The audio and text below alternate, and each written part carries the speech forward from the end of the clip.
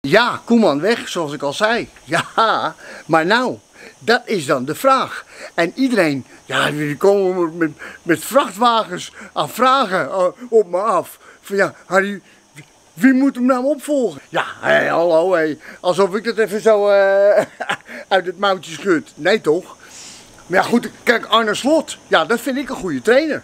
Maar ja, die wordt het niet. Nee, want die heeft nog te weinig ervaring. Nee, die is, maar, maar die, is voor de toekomst goede bondscoach. Dus die is het niet. Dat is één. En wie het ook niet wordt, dat is Frank de Boer. Ja, want die wordt nou wel heel veel genoemd.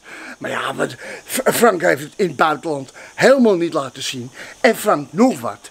Die moet ook wat aanvallender gaan denken. Ja, want dit is het, het lijflied van Frank de Boer. Ja, elke dag weer. Van voor naar achter, van links naar rechts. Van voor naar achter en links naar rechts. Van voor naar achter, van links naar rechts. Van voor naar achter en links naar rechts. Ja, dat draait hij al bij de tactische bespreking. Dat doet Frank dit nummer al. Ja, en dan vlak voor de wedstrijd hij hem er nog eens even uit in de kleedkamer. Van voor naar achter en links naar rechts. Van voor naar achter, van links naar rechts. Van voor naar achter. Ja, doen we mee hoor thuis. Even een Frank de Boertje. Links naar rechts. Van voor naar achter en links naar rechts. Hey, ja, hallo hé. Jongen, jongen, ga maar door.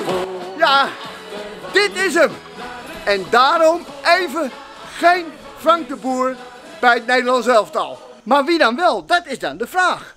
Ja, eh, Peter Bos natuurlijk. Die wordt ook overal genoemd. Maar Peter Bos is natuurlijk wel een hele goeie. Ja, tuurlijk. Want die heeft, weten we nog, voor Ten Hag liet die Ajax ook heel mooi voetbal spelen.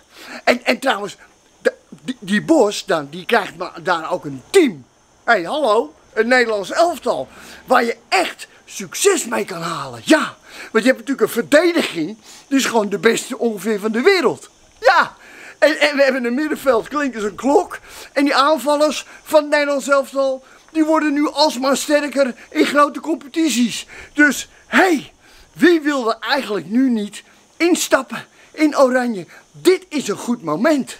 Dus Peter Bos, die gaat daar toch even over nadenken in dat Leverkusen. Ja, want die denkt van ja, moet ik wel, moet ik niet. Hé, hey, wie weet. En als hij het niet doet, dan denk ik altijd nog aan een man met waanzinnig veel ervaring en in de top gewerkt. Aan Henk ten Katen. Ja, dat is er ook eentje waarvan ik denk, met een goede assistent erbij, hé, hey, dan komt het ook in orde.